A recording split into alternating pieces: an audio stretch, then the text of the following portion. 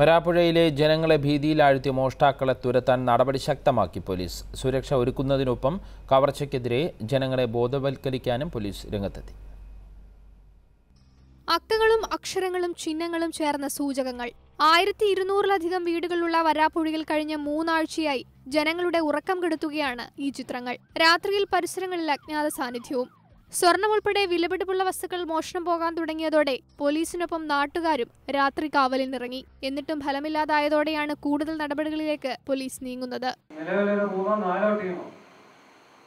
ഹൈവേയിൽ വേറെ നിങ്ങളുടെ താമസിക്കുന്ന സ്ഥലത്തും അല്ലാതെയൊക്കെ രാത്രി കാലങ്ങളിൽ പട്രോളിംഗ് ശക്തമായി തന്നെ ചെയ്യുന്നുണ്ട്.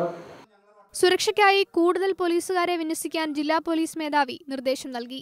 ഇതിന്റെ അടിസ്ഥാനത്തിൽ സ്ഥലത്ത് പെട്രോളിംഗ് ശക്തമാക്കി. സുരക്ഷയൊരുക്കുന്നതിനൊപ്പം ജനങ്ങളെ ബോധവൽക്കരിക്കാനും പോലീസ് രംഗത്തെത്തി. ഇതിനായി പ്രത്യേക ക്ലാസും സംഘടിപ്പിച്ചു. ഇന്നിപ്പോൾ സാറ് വന്ന സംസാരിച്ചതിനെ കുറിച്ച് നമ്മൾക്ക് ഒത്തിരി പേടികളൊക്കെ ഒന്നേ അപ്പം ആ നിർദ്ദേശങ്ങളനുസരിച്ച് നീങ്ങാം. ഇപ്പം നല്ലൊരു സമാധാനമായിട്ടാണ് നമ്മളിപ്പോൾ ഈ ക്ലാസ് കഴിഞ്ഞ് ഞങ്ങൾ വീട്ടിലേക്ക് പോകണം പോലീസ് കൂടുതൽ നടപടികളിലേക്ക് നീങ്ങുന്നതോടെ കള്ളന്മാർ നാടുകടക്കുമെന്ന പ്രതീക്ഷയിലാണ് നാട്ടുകാർ. ഏഷ്യനെറ്റ് ന്യൂസ് കൊച്ചി.